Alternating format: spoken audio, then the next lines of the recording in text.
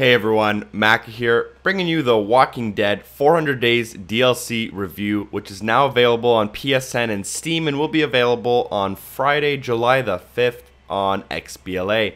So 400 Days DLC is set between Season 1 and Season 2, although it doesn't include any of the characters from Season 1. Hopefully we'll be seeing some of these characters in Season 2 though.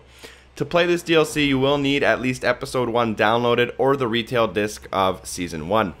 So the way this game works are is that there's five new characters. They're all survivors, and you're going to be playing short chapters for each character.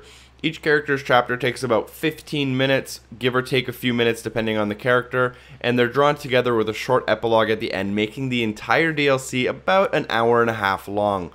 So, previous decisions you made should affect this DLC, and de decisions in the DLC should also affect Season 2. Now, the game is much of the same. There's not really any real changes. The graphics look very similar. The audio design is very similar. The way the stories are told is more or less the same, but in a shorter manner. So don't expect any major changes. The game is much of the same game. With that being said, it is more of a movie or an experience than an actual game full of gameplay. It's more about the decisions and the point and click about figuring stuff out than really having to go out there with any type of skill and uh, beat anything. Um, with that being said, it is much of the same. So there are a little bit, uh, you know, it's a little bit buggy. There are a few bugs, which is to be known from the previous one. And uh, personally, out of the five situations, I was only drawn to about three or four of the characters. One of the situations I didn't really connect with as much as the others, but it's still worth it, and uh, I still think they did a really good job.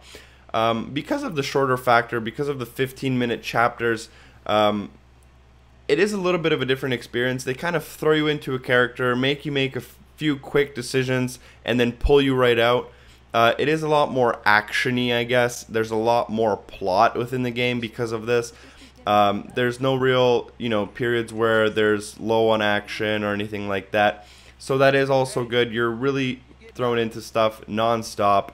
And personally, as long as you liked season one and you plan on playing season two, it's definitely worth the five dollars. If you've never played a Walking Dead uh, Telltale game before, I suggest you download. Uh, I believe you can download episode one of season one for free or for like a few bucks and try it. And go through those before you go through the DLC. It just makes more logical sense. But if you've enjoyed stuff before and you're plan to enjoy season two, you will enjoy this DLC, and uh, I don't think you have anything to worry about in terms of not enjoying yourself. So thanks for watching, guys. That's about it. If there are any questions, uh, leave them in the comments, and uh, I tried to keep this review as spoiler free as possible. So if you uh, have any questions, leave a comment, and hopefully I see you guys around in my next video. Thanks for watching. Peace.